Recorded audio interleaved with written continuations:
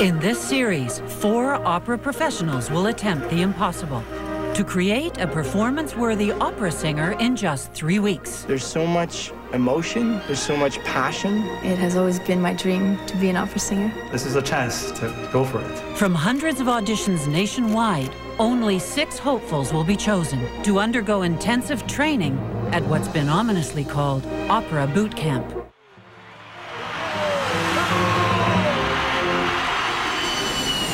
Vancouver, British Columbia. The coaches arrive for the first round of auditions, eager to begin their search. Hi, my name is uh, Zuhair Mohammed Ali Abdullah Ghadban, but I don't say that at the airport. I say Zeus Ghadban.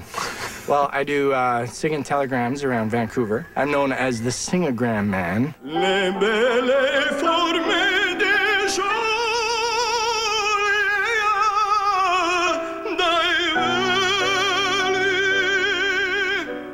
Zeus delivers an emotionally charged performance that leaves the judges intrigued, but at the same time concerned. Anto la vita.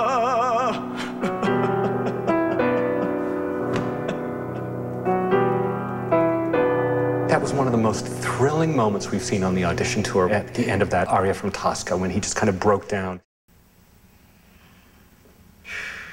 How did that feel, Zeus? Scary. And uh, real.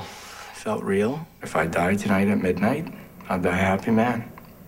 Is there any voice in there that's workable? Oh, yes. Oh, there is. I just also wonder about stability and whether he'd be like majorly high maintenance. This is the moment we've been waiting for someone who has real passion. I mean, it was very exciting to, to see somebody express themselves that way. Zeus. Tanto la vita. It was one of the best auditions I saw on the tour.